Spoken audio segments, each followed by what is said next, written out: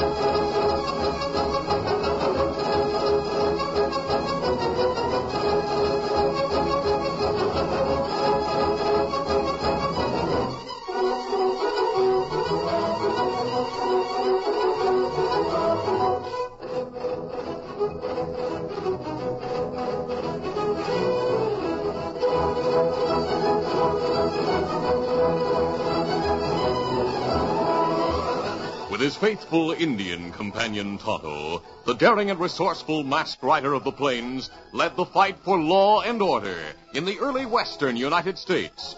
Nowhere in the pages of history can one find a greater champion of justice. Return with us now to those thrilling days of yesteryear. From out of the past come the thundering hoofbeats of the great horse Silver. The Lone Ranger rides again. One Silver. Let's go, big fella. Hail, Silver! Hi!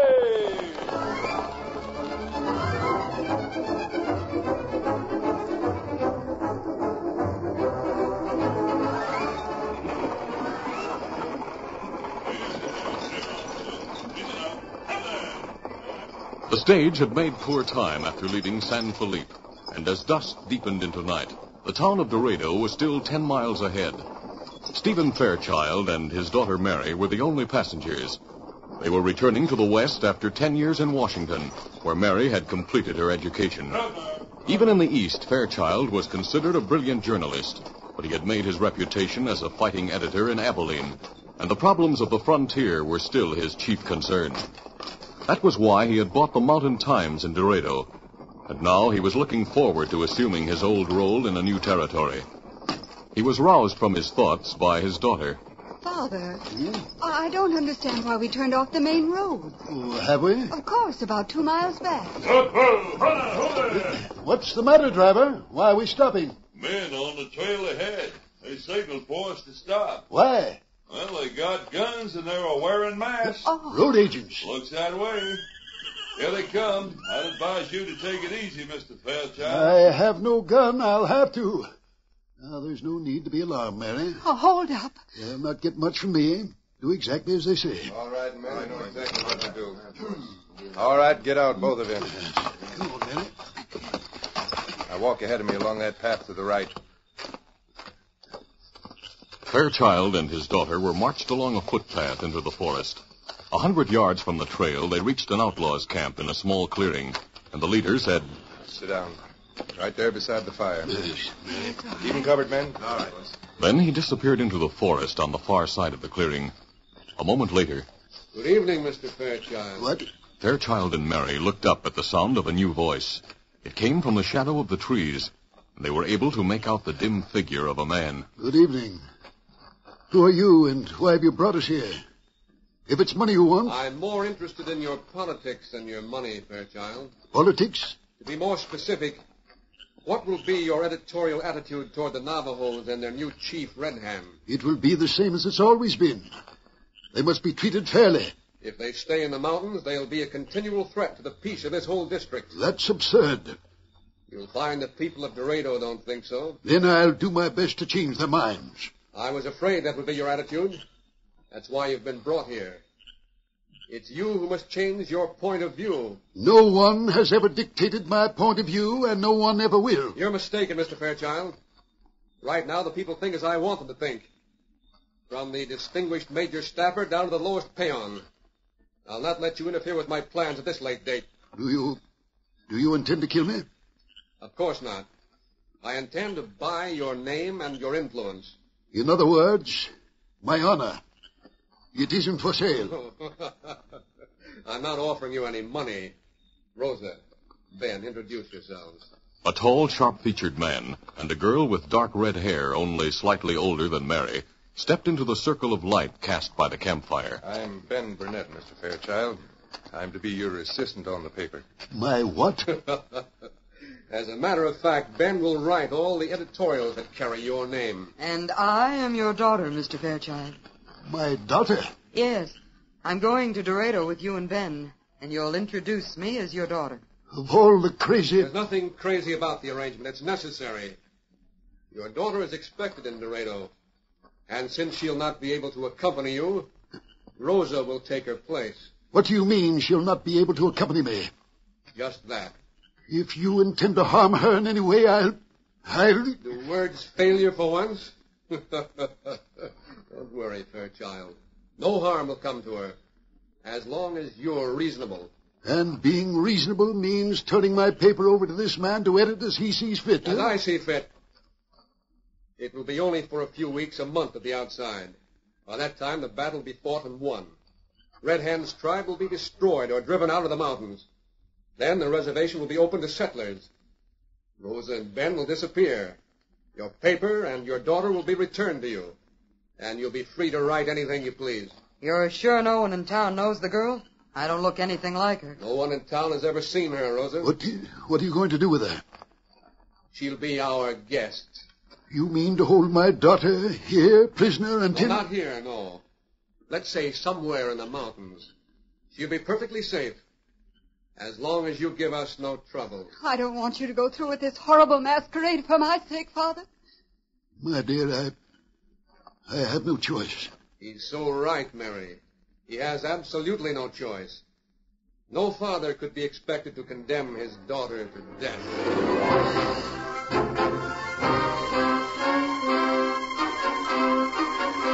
Dorado welcomed Stephen Fairchild and had no reason for not accepting Rosa and Ben Burnett as his daughter and his assistant.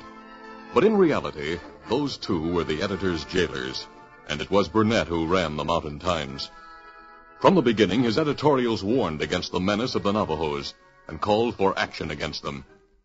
Fairchild found it difficult to assume responsibility for his words when Major John Stafford walked into his office toward the end of the week and offered his congratulations. Mr. Fairchild, I should like to shake your hand. That editorial in today's paper was a masterpiece. I'd hardly call it that. You're much too modest, sir. In line with your suggestion, I'm calling a meeting of all the able-bodied men in town. And I mean to propose the organization of our own militia. You have no authority to do anything like that, Major. Authority, sir? Is there anything wrong with men uniting to protect their homes? Not if that's as far as it goes. Well, I have no intention of raising an army. Under my leadership, I'm sure that a hundred well-armed men can handle the situation. I'm sure they can, too. Considering the Navajos have very few rifles, considering the fact there aren't more than 200 people in Red Hand's tribe, counting the women and children. It's a shame, isn't it, that a handful of savages should stay in the way of progress. I don't quite follow you. You mean to say you don't know, Mr. Fairchild? Know what? There's silver on the reservation. Sure, that's it. Exactly, sir. Eh, good day, Mr. Fairchild. Keep up the good work. That laugh. I've heard it before. The night in the forest. The accent is a fake. Major Stafford is the man who's holding Mary prisoner. Oh, if only I dared go to the sheriff. No, I can't take the chance.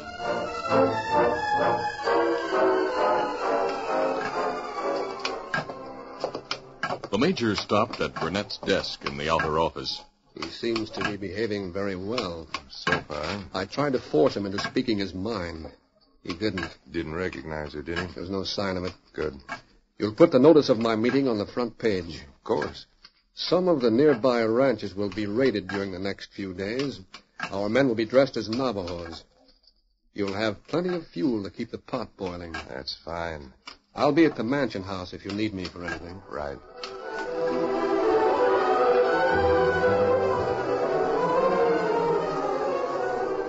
It was the rumor of Indian trouble which brought the Lone Ranger and Tonto to the Dorado district. They made their camp in a mountain canyon, and Tonto went to town. When he returned with supplies, he also brought a copy of the Mountain Times. There's much talk in town about what papers say. Here, you read it. Uh, thanks, Kemo Sabe. What's this? Stephen Fairchild, editor. That right. It's been ten years since we've seen him. And him changed plenty. How do you say that? Did you see him today? Ah, me see him. Him look same, but him not right same. People say him want war with Indian. You read. Yes, Tonto. It seems that he does want war. I can't understand Fairchild writing this way. What if it's true Red Hand's tribe has been attacking the ranches? Perhaps he's justified. Not true. It's hard to believe, but it may be. Kemo Sabe, there's something wrong. Wrong? Ah. You remember little girl with yellow hair in Abilene? Mary Fairchild? Ah. Why, of course. Is she here with her father? That girl walked down street with them, and people say that Mary. It's not true. It's been ten years. This girl have red hair. Come from cafe in El Paso. Me know. Her name Rosa. And the people in Dorado think she's Mary Fairchild? That right. Now this girl and feller called Burnett. Them stay with Fairchild in house next to newspaper. Well, who's Burnett? Him work on paper. Did you ever see him before? Me not sure. Me think maybe me see him in El Paso. Strange company Fairchild's keeping these days. Ah, I think I'd better have a talk with him. Not good idea. And it had better be tonight.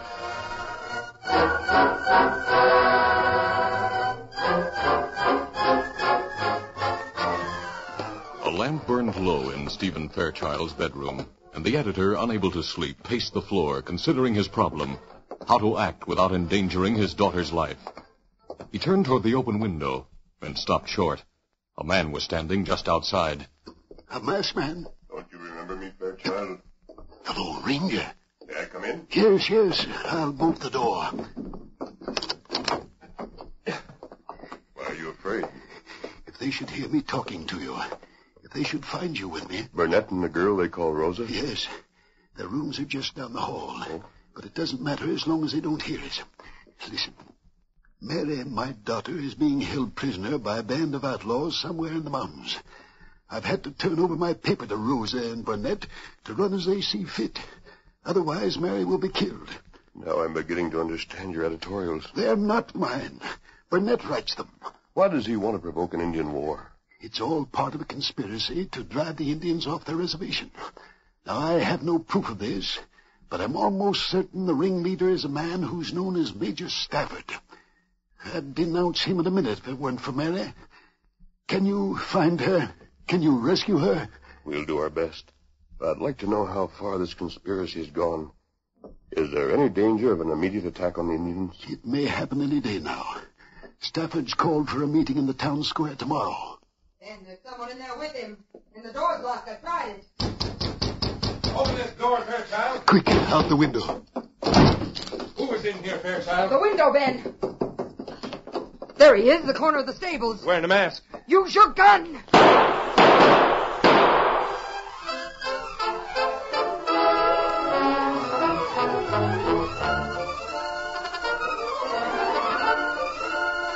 The curtain falls on the first act of our Lone Ranger adventure. Before the next exciting scenes, please permit us to pause for just a few moments.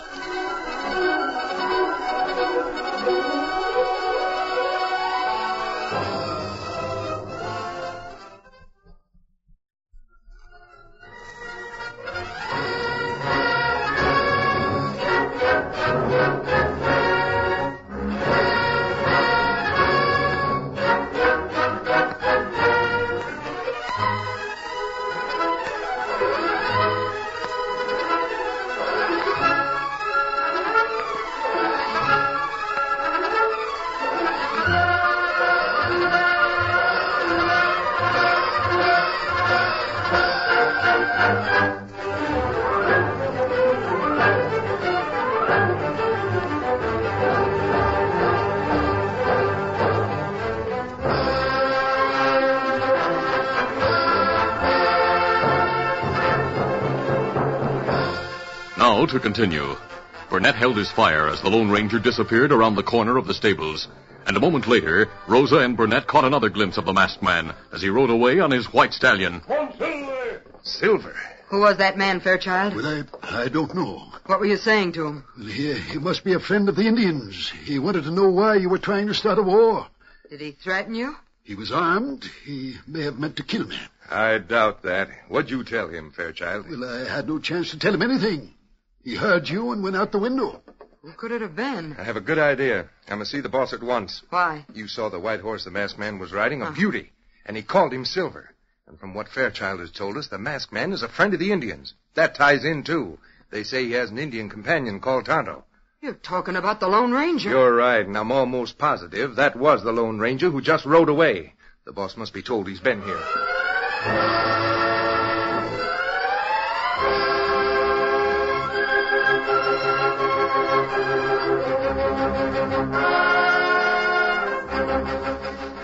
After the Lone Ranger left Fairchild's home, he and Tonto rode into the mountains to Red Hand's village. There the chief welcomed them, and when the masked man suggested that a council be held, all the braves gathered in front of the chief's lodge. The Lone Ranger rose to address them. I come to you with a warning. It is said in Dorado that Red Hand's braves have been attacking the ranches of the settlers. That not true. I believe you, Chief.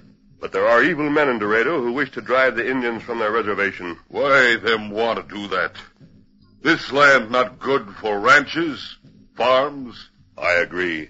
Still, these men want your land for some reason, and they're ready to go to war to get it. Uh, maybe them learn secret of Black Canyon. What's that? There much silver there. Indian try to keep secret, so white man not want hunting ground. Silver. Yes, that would explain everything. If secret lost, then it better Navajo leave mountain. That isn't true. The government's given you this land, and if there's silver on it, the silver belongs to you. You say men of Dorado want war. My tribe not strong enough to fight 'em. I said there are some men who want war. But you have a friend in Dorado who may be able to help you. He's Stephen Fairchild, the editor of the newspaper. When he speaks, people will listen to him. Why him not speak? Because he can't. The same evil men I've been talking about are holding his daughter prisoner somewhere in the mountains. If we can find her and take her home to her father, he'll be able to help you. Great Chief, What you say, little elk? me know a bad man camp. Me see girl with him.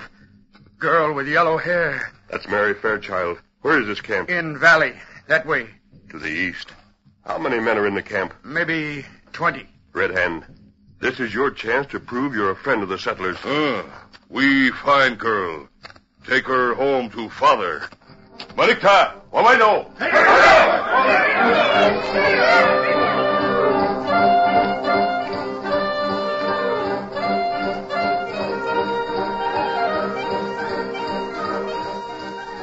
As it grew dark the following evening, Ben Burnett left for the meeting, after gagging, then tying Stephen Fairchild hand and foot. A sound of many voices reached Fairchild from the town square, and he rolled across the floor to the window of his bedroom. He struggled to his feet. He could see nothing but a glare in the sky that came from the many pine torches that lit the square. But then he turned at the sound of hoofbeats. Easy, steady, big fella. The Lone Ranger was drawing rein in the shadow of the stables. Fairchild turned his back to the window and with his bound hands beat on the glass. A moment later, the window was opened. And the Lone Ranger climbed into the room. In a matter of seconds, the editor's ropes were cut and the gag taken from his mouth. There. It started. The meeting in the square, you mean? Yes, and I've heard them talking, Stafford and Burnett. They have some plan that will arouse the people to a fighting pitch. They mean to attack the Indians tonight, and by tomorrow morning, Stafford will have staked a claim in Black Canyon. So he knows exactly where the silver is. What about Mary? Were you able to find her? Yes. Where is she? We rescued her from the outlaw camp last night. Wonderful. You have nothing to worry about as far as Mary is concerned. She's alive and well. And right now, Red Hand and his braves are guarding her. Why didn't you bring her home to me? Because it isn't safe to bring her into town until we've dealt with Stafford. Then take me to her. No. You must make the town safe for her. and for Red Hand. You have work to do here, Fairchild, and you must work fast.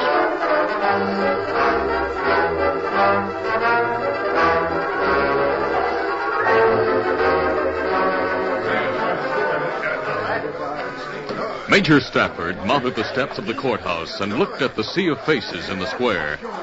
Burnett took his place beside him as he raised his hand in a signal for silence. Men, there's only one reason we're gathered here tonight, and that's to consider ways and means of protecting our homes. They stand in great danger.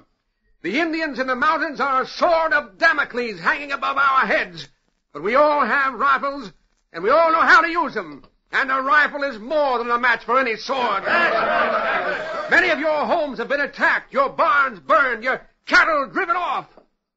Now you've read the stirring words of that fearless editor, that great pioneer, Stephen Fairchild.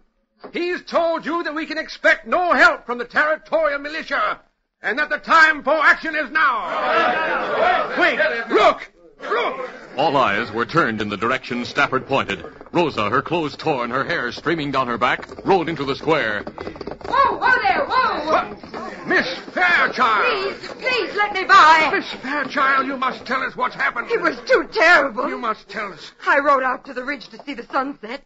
I started back here as it grew dark, and then suddenly a band of Navajos swept down on me. They tried to drag me from the saddle. I fought them off. Somehow I escaped. Please, please let me pass. Men, men, now the savages are attacking defenseless women. What are we going to do about it? If you're men, you'll follow me tonight. We'll drive the redskins from the mountains. That's not what I say. Listen to me. The men in the square raised their eyes. Stephen Fairchild and the sheriff were framed in one of the upper windows of the courthouse. The sheriff raised his hand. Before you commit murder, men, listen to Stephen Fairchild. Yes. Listen to the truth. Let me tell you what happened on the night I arrived in Dorado. My daughter and I were taken prisoners by a band of outlaws on our way here. I was told that my daughter would be killed.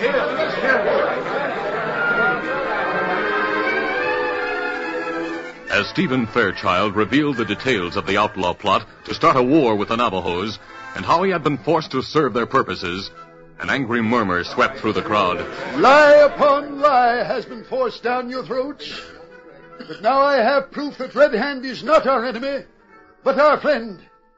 Here he comes, carrying a flag of truce. The chief and Mary Fairchild rode into the square at the head of the band of Navajos, and between the warriors' lines were twenty outlaws, their horses led by the Indians, their hands tied to their saddle horns. The crowd parted to make way for the cavalcade, and the chief and Mary rode straight on to the courthouse. Uh, Mary! Oh, thank heavens you're safe.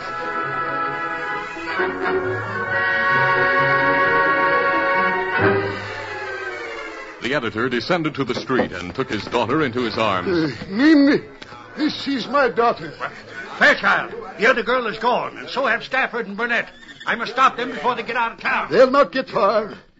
Mary, tell everyone what happened last night. All right, Father. Listen to me. I was being held prisoner in the mountains by these men the Indians have captured. It was Red Hand and his braves who rescued me. Afterwards, these renegades were taken to the Indian village. They thought Red Hand meant to kill them. Yeah, them bloody afraid. Yes, so afraid they were glad to tell the truth about everything. These are the men who have been dressing as Navajos and raiding the ranches around Dorado. And they've confessed who their leader is as well. They took their orders from Major John Stafford. And you should know that Ben Burnett and the girl they call Rosa, the girl who's been taking my place here, are also members of the gang. Stafford's gone. So have the girl and Burnett. Don't worry. The sheriff's going after them. They'll be brought back, and they'll go to jail with these other crooks. Have, have you had enough? Have we proved to you that Red Hand is our friend? There's your answer, Chief. There'll be no more talk of war between us. Uh, that's plenty good. And this I pledge to all of you. Never again shall the Mountain Times become an instrument of injustice. The crowd clustered around Fairchild, his daughter, and Red Hand as rancher after rancher shook hands with the chief. Then a shout went up as the sheriff marched Stafford, Burnett, and Rosa into the square. Good work, Sheriff. Did they give you much trouble? Well, none at all. It was a mighty peculiar thing. How's that? Well, we knew they needed horses for a getaway, so we went directly to the stables behind your house, Fairchild. And there they were. Didn't they put up any fight? Well, they couldn't. They were hogtied. I think I understand. well, I don't. What's more, I'm afraid a couple of the members of the gang got away. Why do you say that? Well, just as we came out of the stables, we saw a couple of men up on the hill to the south of town. The moon was shining full in their faces, and I could have sworn that one of them wore a mask. The other one looked like an Indian. Sheriff, I have an idea it was those two men who prevented your prisoners from escaping. Yeah, they got the drop on us. I was told they'd be watching every move you made after I started to speak to the crowd. What? Sheriff, I explained that I managed to contact a friend of mine last night. That it was he who went to Red Hand. I know, but I who's- didn't have time to explain that my friend wears a mask. That he rides with an Indian called Tonto. That he's been fighting for truth and justice all through the West. And that every honest man of every race and creed can always depend on his help. Sheriff, my You friend... don't have to go any further. There's only one man who fills that bill of goods. So that's who he is. So that's the Lone Ranger.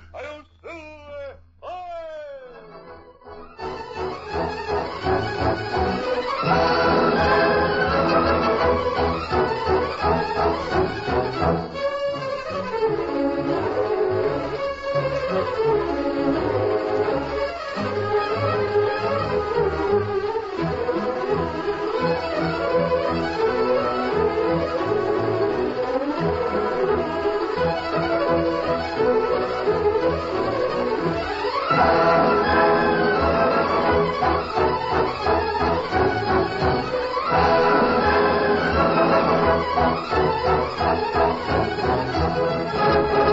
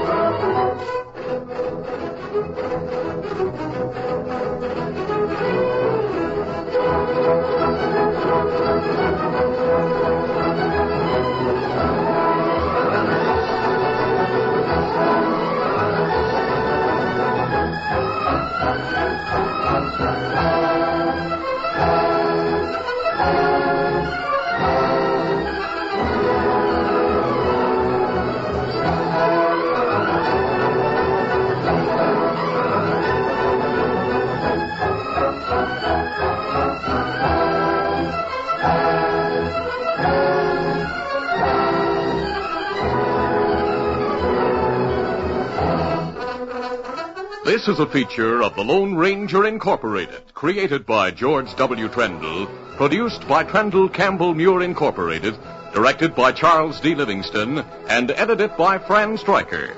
The part of the Lone Ranger is played by Brace Beemer.